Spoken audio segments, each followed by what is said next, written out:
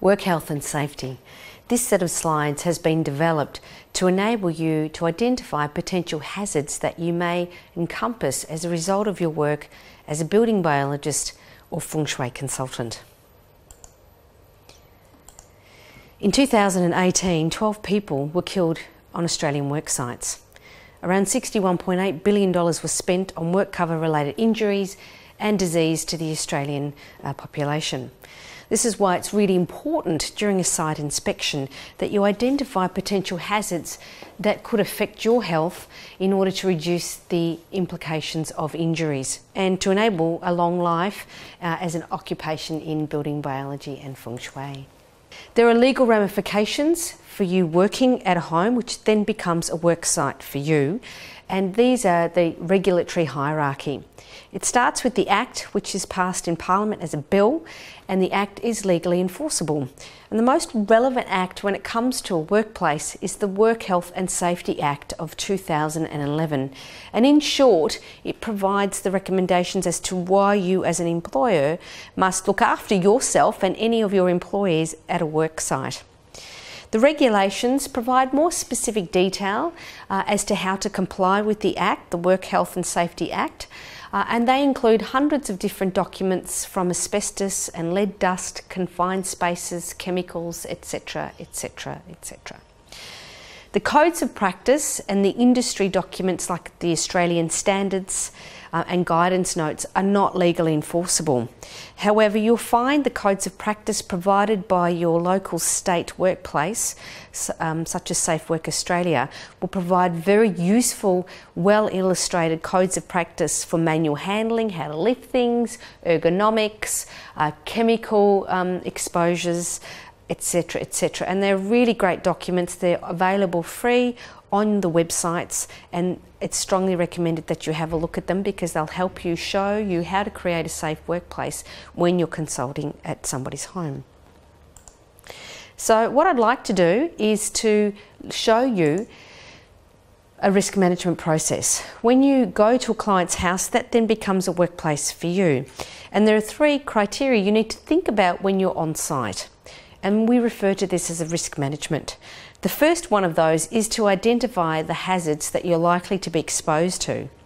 The second of those is to assess the risk. What is the likelihood you're going to be exposed to the hazard and develop an injury or a disease as a result of it? The third of those is how to control the risk, and this is referred to as the hierarchy of control. So I'm going to go through these three processes, and I want you to think about as I go through these when you're going to a house, what type of hazards you're likely to be exposed to, what's the risk of, of being exposed to the hazards and being injured or developing a disease, and more importantly, what you should be thinking in order to reduce your exposure to any of the hazards. So identify the hazard. Conduct a site inspection to identify potential hazards that may exist on site. I've provided a example of a list of hazards you may find in a home. And they include things from asbestos and lead dust, mould in a water damaged building, chemicals, especially if the house is new or has been recently renovated, like from paints, sealants, and glues, and to things like being bitten by a dog. So let's go through some of these examples. The assess the risk is to assess the possibility that you may be exposed and develop an injury. In order to assess risk, you have to consider the likelihood of an event occurring. So, the likelihood of you being bitten by a dog um, is high, especially if the dog is such that it's more likely to be aggressive, uh, if you go into the backyard, for example. What's the consequence of the event? Well, being bitten, of course. The likelihood, a good example for asbestos. What's the likelihood you're going to be exposed to asbestos at home, knowing that prior to the 1970s, the majority of homes have some degree of asbestos cement sheeting? Well, we know it's there. It's in my home as eaves under my home. However, the consequence, the likelihood that you're going to be exposed to asbestos is almost nil if there's no renovation, if that asbestos is not disturbed, if there's no renovation uh, of any kind, then the likelihood that you're going to be exposed is almost zero. So even though the hazard of asbestos, which can cause asbestosis, mesothelioma, and lung cancer is great, the consequence of being exposed to asbestos is great, the likelihood that you're going to be exposed is almost nil because there is no disturbance of that asbestos cement sheet uh, and therefore you're unlikely to be exposed. Lead dust would be another example. Lead is incredibly toxic. However, even though the lead content of the paint in a house built before 1965 or painted before 1965 is about 50% lead content, unless that lead dust is disturbed and they're sanding back the walls, uh, then of course the, the likelihood you're going to be exposed is high, and the consequence may be um, ingesting that or inhaling that in the body. And of course, lead is associated with a myriad of side effects, which I'll go into shortly. If that lead is not disturbed and it's not a dust, it's just on the wall, then the, the likelihood of you being exposed is very, very minimal. Mold is another good example. The likelihood you're going to be exposed to mold is high in a water damaged building, and there's certain ways we can assess whether you need to wear a full face respirator and Tyvek suit, which I'll go into shortly. So assessing the risk is really important. You can have a very severe hazard like asbestos and lead dust, but the likelihood of you being exposed is minimal in most of the homes you're likely to walk into. The last, of course, is to control the risk. You need to understand the hierarchy of control, uh, and that includes what the mnemonic that I refer to as ESEEP. Eliminate, substitute, engineer, administer, and uh, personal protective equipment. I will go through some examples of how to implement the hierarchy of control for certain hazards at the end of this talk. So let's identify the most common hazards you're likely to be exposed to in a home or the built environment.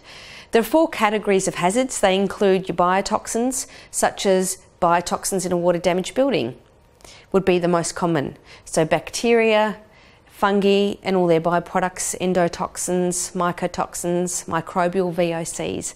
Uh, tick bites, for example, not so common inside a home, uh, however, it, it, can occur.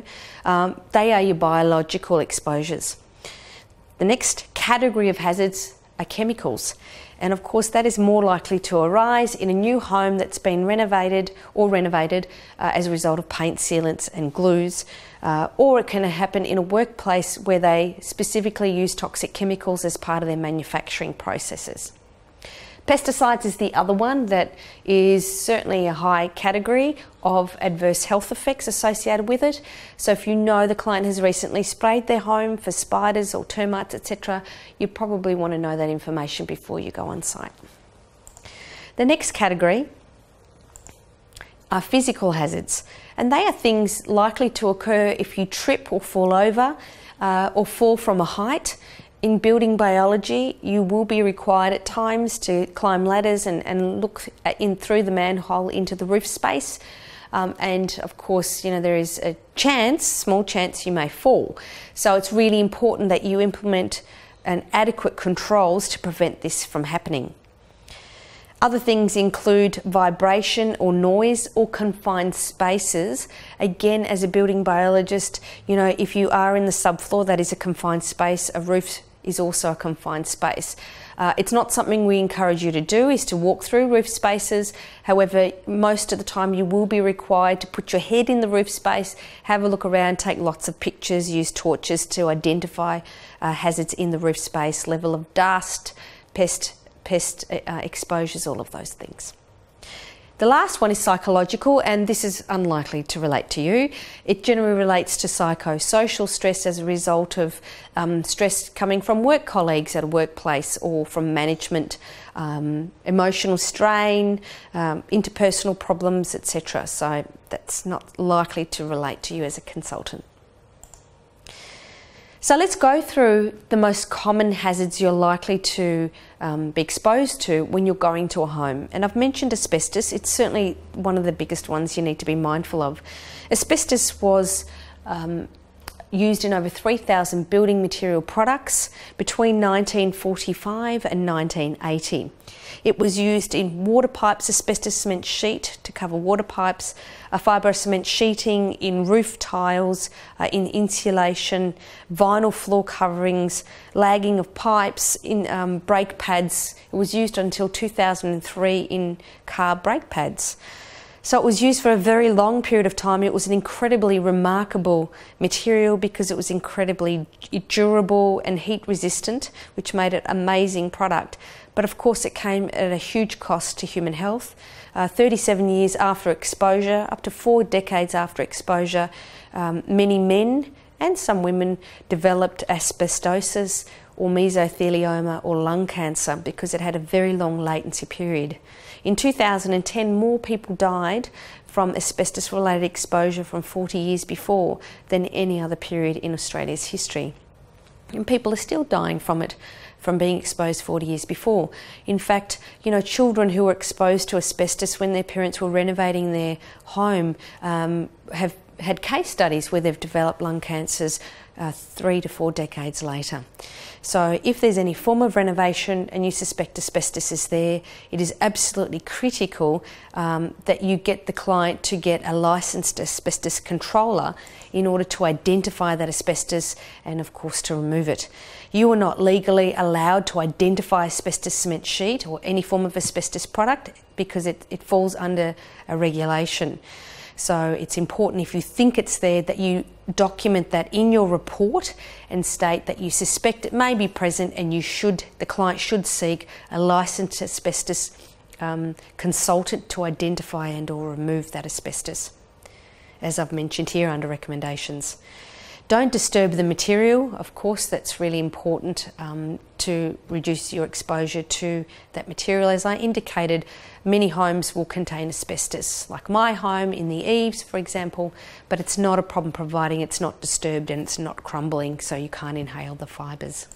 You may, if you suspect there's asbestos on site, um, it's recommended that you don't go on that site for whatever reason, if you are required as a building biologist to look through the roof cavity and you suspect asbestos cement sheet or insulation fibres could be in the roof space, then as always, we recommend you wear a full face respirator um, or a class P2 mask. Full face is always better uh, in order to protect your respiratory passages from inhaling those fibres.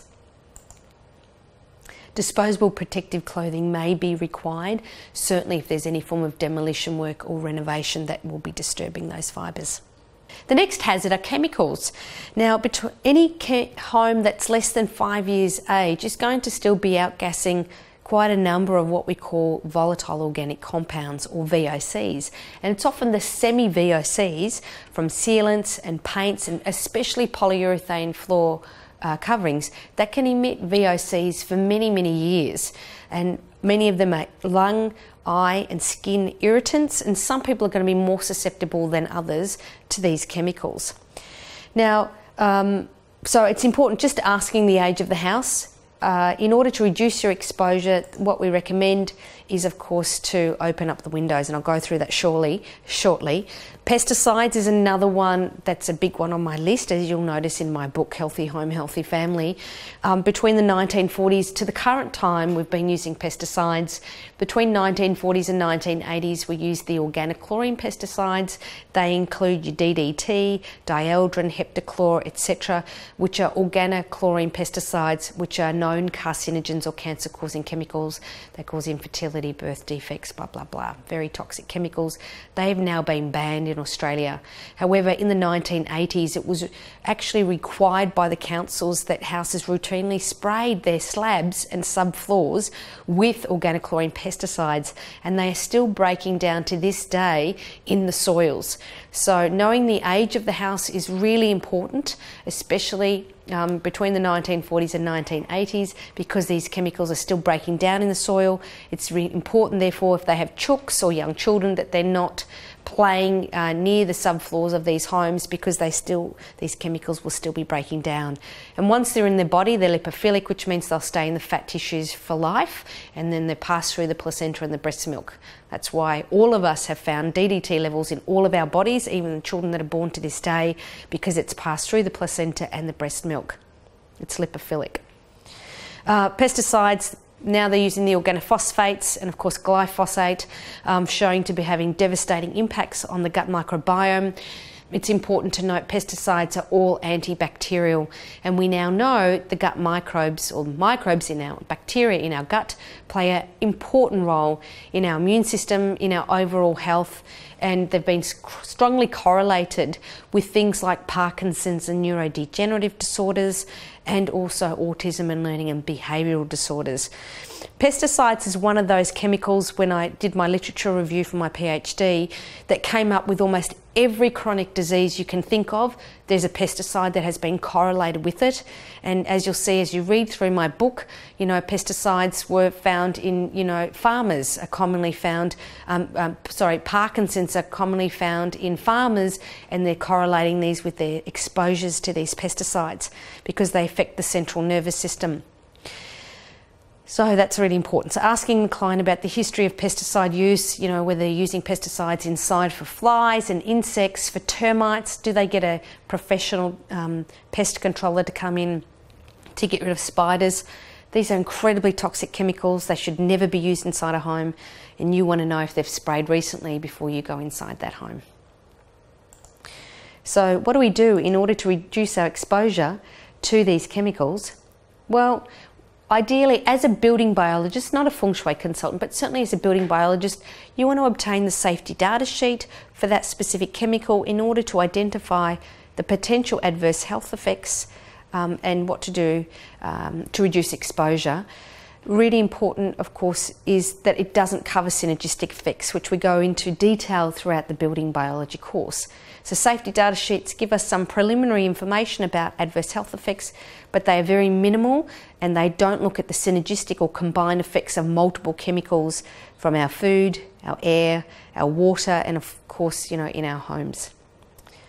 Open windows. If they've recently sprayed chemicals, air fresheners, uh, perfume, anything like that, chemi- pesticides, then you know get the client to open up the windows.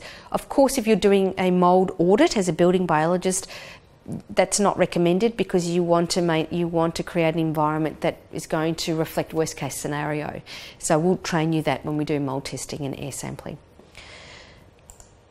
Wear a face mask if you are exposed. Now, look, a lot people who are chemically sensitive really important that they content, that they consider wearing a face mask that has a filter specifically manufactured for that type of chemical.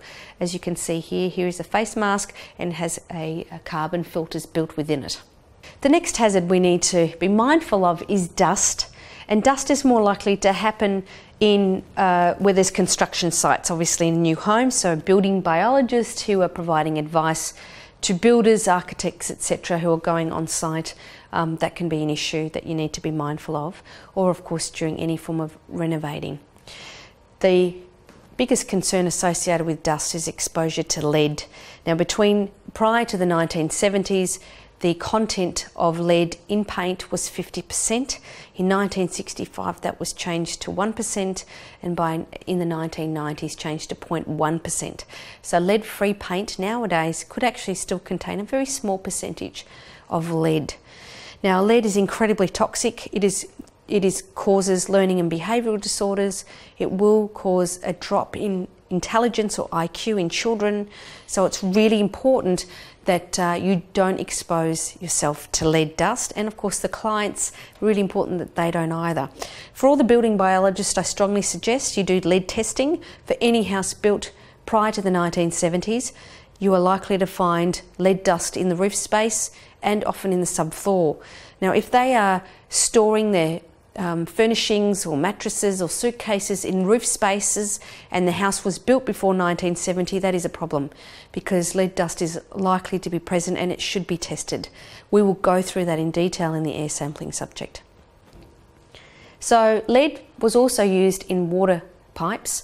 Uh, in fact, the demise of the Roman Empire was thought to be due to the use of lead pipe, which of course can cause infertility and mental illness, mental dullness and depression, uh, male infertility.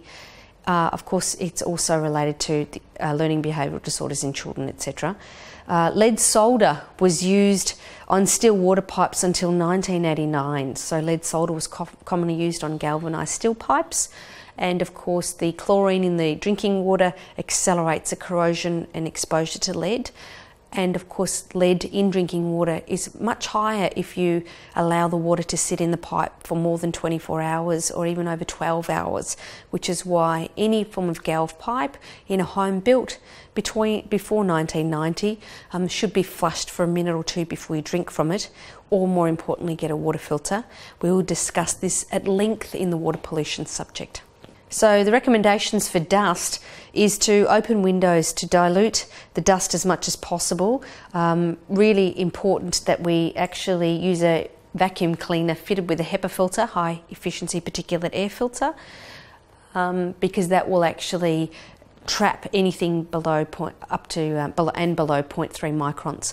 All your largest dust particles generally are going to be trapped by a HEPA filter, so that's really important for the um, for you to consider. Of course, a dust mask can be useful. We always recommend in building biology we use a full face mask to protect not just your nose and inhalation but also your eyes, as eyes are a common way in which biotoxins can get through.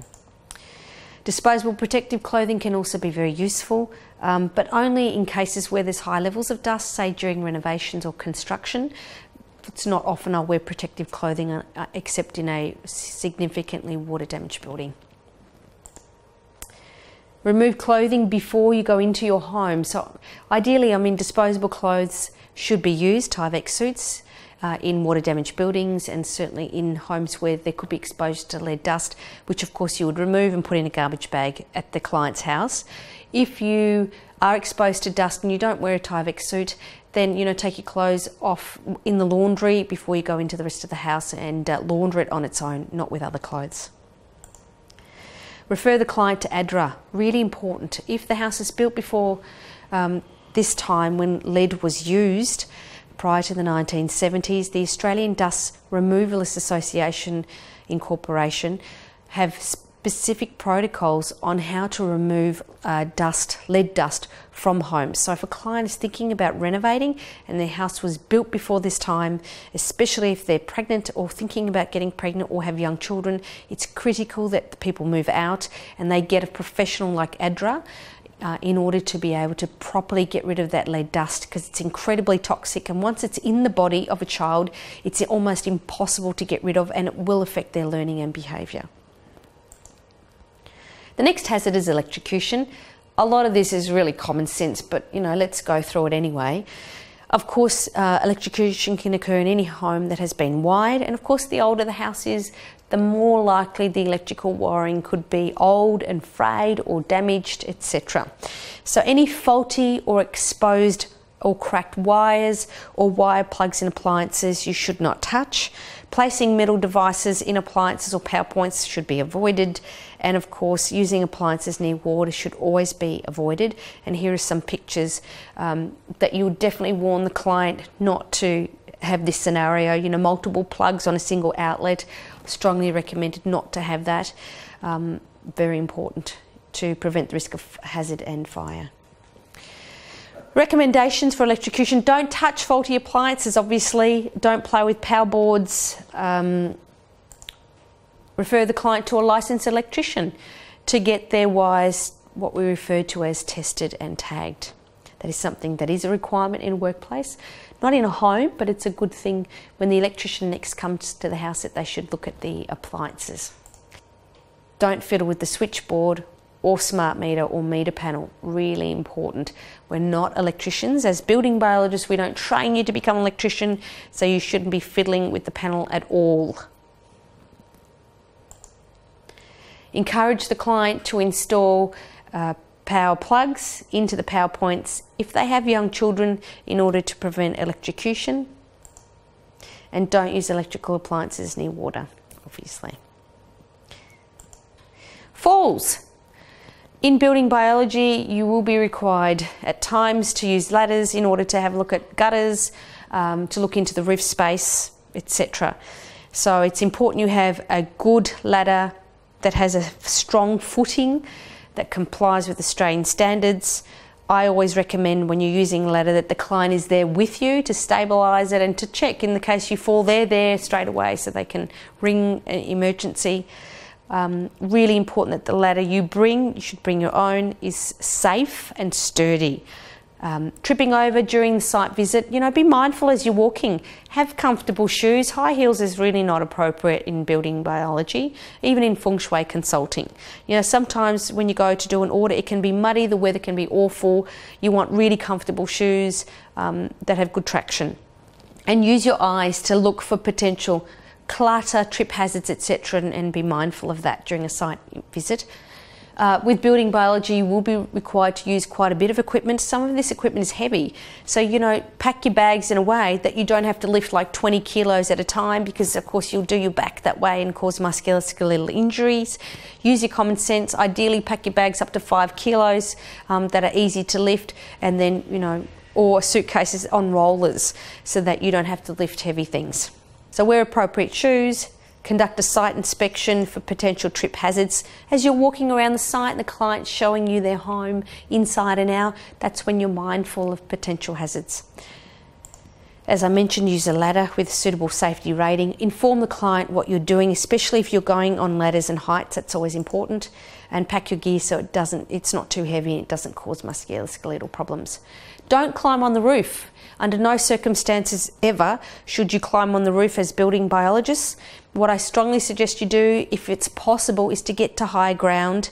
Uh, even if that means you have to go onto a neighbouring property, get their permission to see if you can get onto their property, so you can look down onto the, your client's roof. I have binoculars; they are, I find them very useful, so I can have a look closely at the flashing around a roof to see that it's um, uh, properly done. It's not rusting. There's no entry for which water can get through.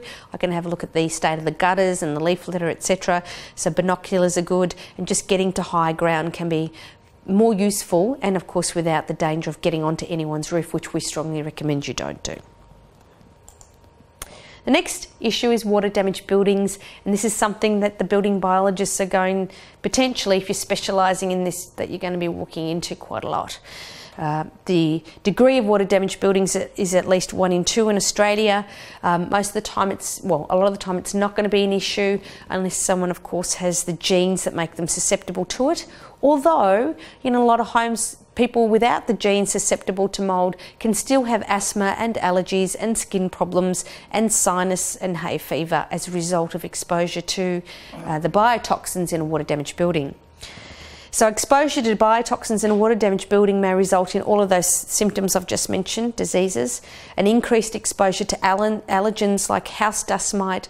You're going to get pests attracted to a water damaged building. Even termites will be attracted to a water damaged building. And as a building biologist, I always say that to the clients that if there's water damage here, especially in the subfloor, you know, you might need to get a pest controller to check for termites because they frequently come uh, wherever there's water damage. And of course, pests like cockroaches and house dust mite and rodents are attracted to water damaged buildings. So it's important that if the client has allergies to these, that, that this is addressed as well. So the recommendations in water damaged building is to assess the risk. And the way to establish that as a building biologist, so I'm talking building biology here, is to identify the client's symptoms, which you'll go through in the questionnaire. If the symptoms reflect CIRS, chronic inflammatory response syndrome, then you know you're going to be mindful that this could be an issue in this home. You're going to look at the history of moisture intrusion.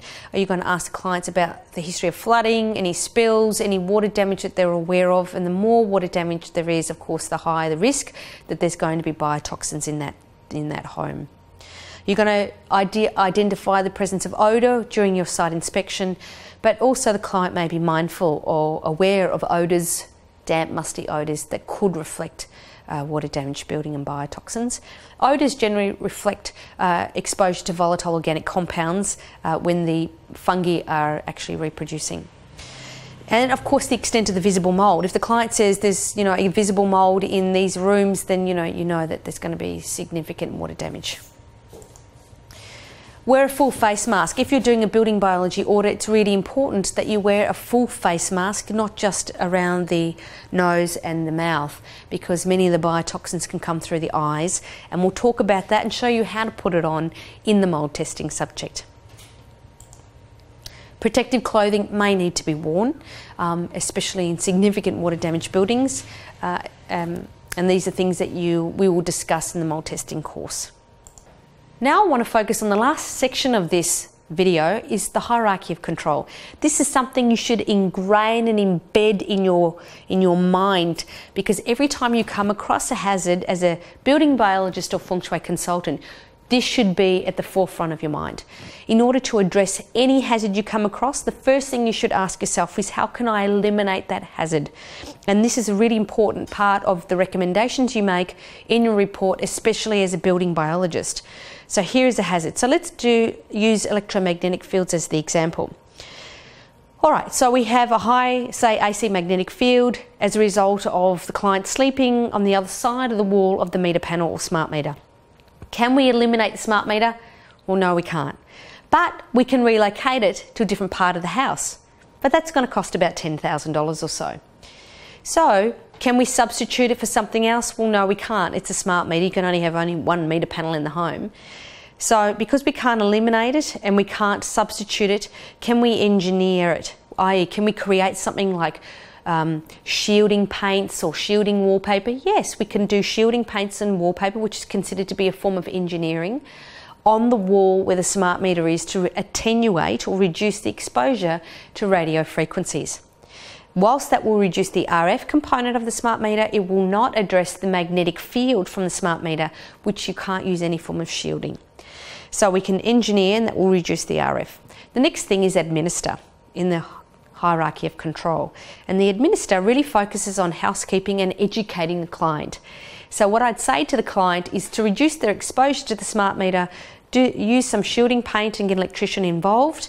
And secondly, relocate the bed to another room, or if that is not possible, at least to the opposite wall to the smart meter to reduce your exposure to the AC magnetic field. So, the two things we recommended was shielding paint to reduce the exposure to radio frequency or the wireless component to the smart meter. And secondly, administer, educate the client to reduce their exposure by creating distance from the source. So, examples of how to reduce exposure to electromagnetic fields are to things like do we really need all those appliances in the bedroom?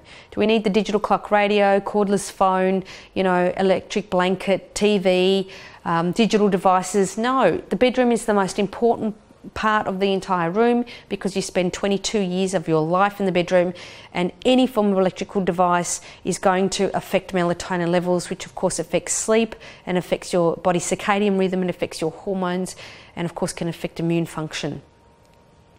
Substitute. Well, we can replace the digital clock radio for a battery operated or wind up clock. So that's a good example of substitution. Or we can substitute the cordless phone for a hardwired landline phone. So that's an example of substitution for electromagnetic fields. The next one is engineer. Now, engineering generally implies a, an expert is required to make something in order to help reduce your exposure to that hazard. And that would be things like shielding paints, shielding wallpapers, uh, etc., shielded clothing. Shielding is generally used as a very last resort with electromagnetic field exposure because it doesn't get rid of the source and it doesn't effectively get rid of the entire uh, radio frequencies or AC magnetic fields. Um, so that's why it's considered to be a last resort, but it can be useful in some cases.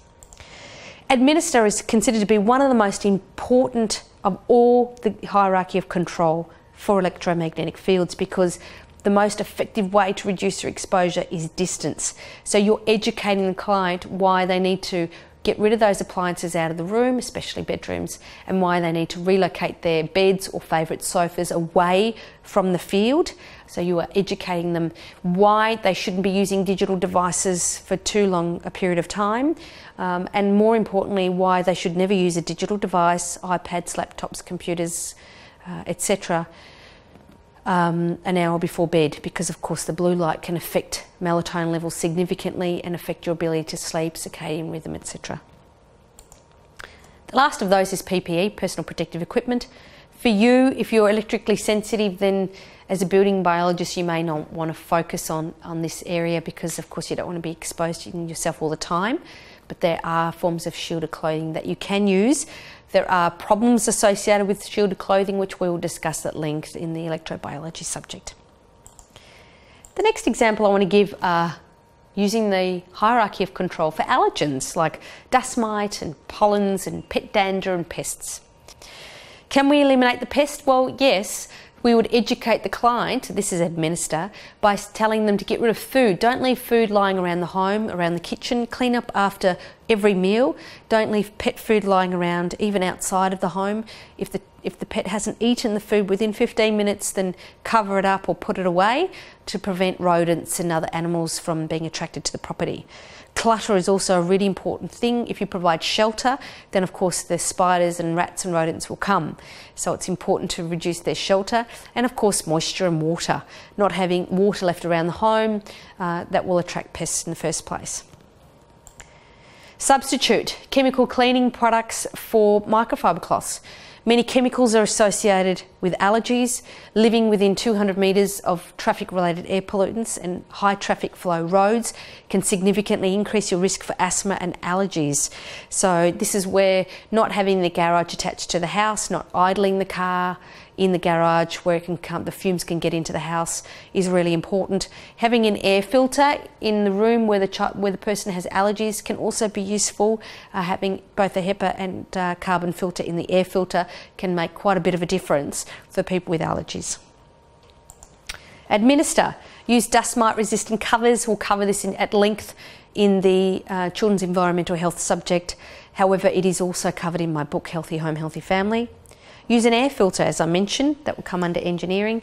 Administer. One of the most important of the hierarchy of control is educate the client. Good housekeeping, making sure they use a vacuum cleaner fitted with a HEPA filter and a motorised head. Make sure they vacuum for at least a minute per square metre of carpet, especially in rooms uh, where people suffer from allergies is important. Not having pets sleeping on beds, not allowing pets furry pets to go in carpeted areas of the house or maybe not even in the house altogether. Um, lots of tips in my book on this. And of course, there's no personal protective equipment really for allergens that is useful. Some dust masks can be useful, but you know, people can't live with a dust mask if they've got allergies in the home. So that goes through why it's important to identify potential hazards because you'll be walking on people's at people's homes all the time. You'll get used to looking for these potential hazards uh, during the site inspection, and it's important to be mindful of that to reduce your exposure because we want you to have a very long and prosperous career as a building biologist and feng shui consultant. Um, because that'll be great for the college, the more consultants we have out there